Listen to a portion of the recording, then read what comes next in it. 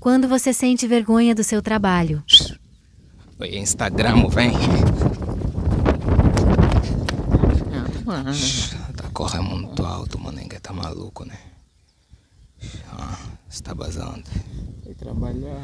Sim, bem amarrotado, ninguém tá de trabalhar.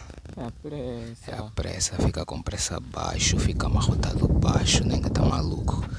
Shhh, Tudo que é alto me incomoda, tá maluco, né? Vem aqui, Nick. Não. Você trabalha como que, Nick? Pensa baixo. Não, vergonha. Tá maluco, quem sente vergonha é gatuno, Nick. Fala, você trabalha como que? Você não sente.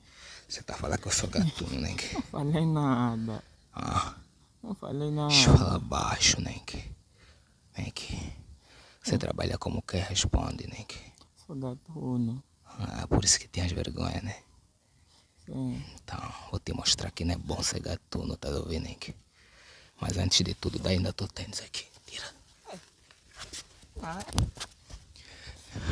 Teu tênis não quer sair baixo, Nick.